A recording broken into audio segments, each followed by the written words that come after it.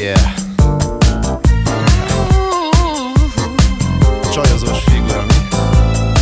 Yeah. Mondja Barney. Csak hideg ital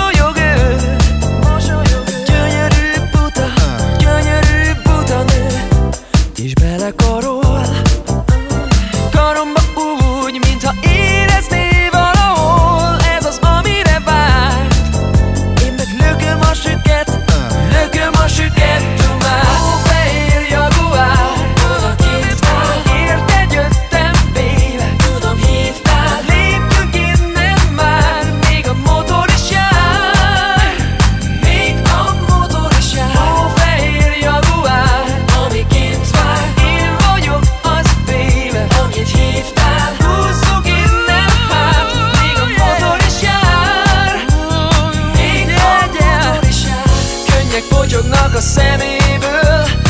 Egy kicsit szégyellem, hogy így bedőlt a lány. Hogy így bedőlt a lány. De nem lesz baj talán. De olyan gyönyörű az egész csaj Amilyen egyszerű, így nem lesz baj talán. Így nem lesz baj talán. Kicsit szomorú tény ezen a helyen.